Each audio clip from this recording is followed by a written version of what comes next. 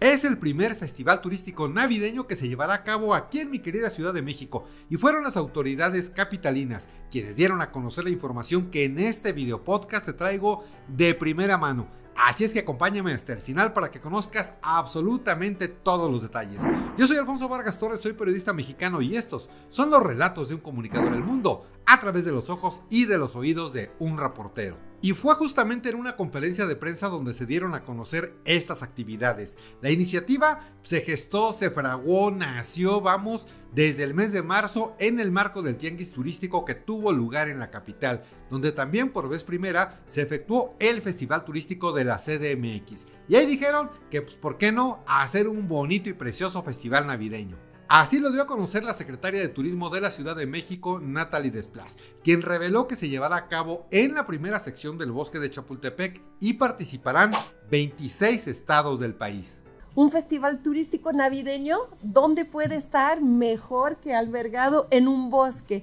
Y un bosque que es un bosque tan conocido a nivel internacional por su, por su gestión, administración y por lo, el modelo que representa. Todos los stands, mis queridos amigos, estarán representados por las diversas entidades de México y serán acondicionados en cabañas navideñas. La verdad, yo creo que se verá sumamente genial. Y este festival tendrá lugar entre el 12 y el 17 de diciembre del presente año empezar a las 9 de la mañana para este, cerrar a las 7 de la tarde. En la capital, mis queridos amigos, estaremos esperando a 1.230.000 turistas durante las vacaciones de estas épocas decembrinas. Y aunque muchos pues, obviamente se quedan por ahí en la casa del cuate, del familiar, de la tía, del primo, se estima que los hoteles tendrán un 70% de ocupación. Y desde luego, pues una muy buena parte de todos estos visitantes que llegan a la Ciudad de México y los que aquí vivimos, pues vamos a estar presentes en este festival navideño.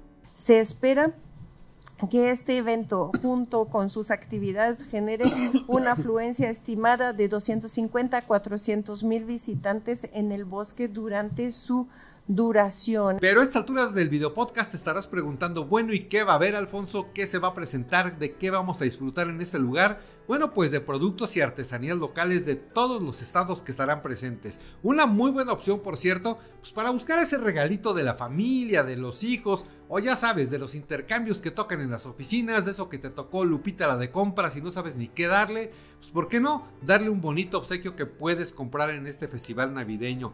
Mira, de esta forma pues no tienes que ir así que a Chiapas, algunas de las Baja Californias, no sé, a Oaxaca, Puebla, porque todas las artesanías de todos los estados, bueno, de los estados que van a participar, pues van a estar presentes en este lugar. Y bueno, pues además también va a haber muchos y muy diversos eventos. Cada entidad va a hacer activaciones activaciones que pueden ser artísticas, que pueden ser teatrales, deportivas, de todo tipo en los escenarios, lo que va a animar mucho todo, todos los visitantes, transeúntes y turistas y habitantes de la ciudad a ir al bosque justamente a ver por qué se vistió de, de Navidad el bosque en esa temporada con esa maravillosa cultura que, que, que define cada uno de los estados. Mira, Habrá ballet, boleros, danzón, música popular, danza, canto, bueno, muchas cosas. Y este festival estará dividido en dos partes, según comentó el ingeniero Lorenzo Arbizo Bencomo, director general de equipamiento turístico de la misma secretaría. Básicamente estará dividido en dos partes. Una de las partes que contendrá un escenario y los 26 stands que representan a los 26 estados que nos acompañan. En cada uno de ellos, como mencionaba la secretaria, será primeramente una demostración de la promoción turística de cada estado. Sin embargo, lo complementaremos también con una promoción artesanal y de productos agroecológicos que sean autóctonos o que sean originarios de cada uno de los estados. E incluso podrás ver en la zona que se encuentra entre los dos lagos a los artesanos trabajando, vamos chambeando así con sus manos y elaborando sus bellas piezas. Otra cosa que te quiero comentar es que el stand de la CDMX va a ser el más grande, vamos, va a tener el doble de tamaño.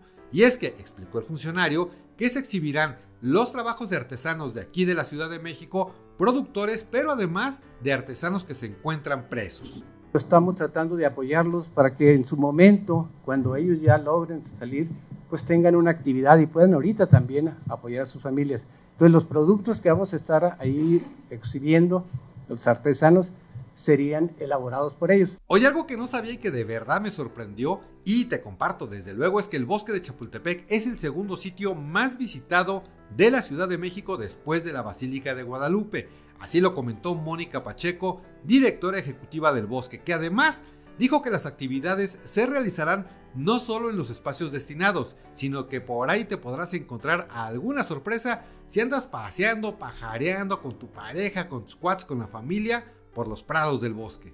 Vamos a tener comparsas, vamos a tener desfiles de las, eh, de las delegaciones de los estados circulando por la famosa milla para que nuestros visitantes se sientan con este ambiente navideño, se motiven y disfruten su estancia en el bosque. Te reitero, te recuerdo que todo esto va a ser solamente en la primera sección del bosque de Chapultepec y aunque la Puerta de los Leones dicen que está cerrada momentáneamente, pues hay muchas formas de llegar.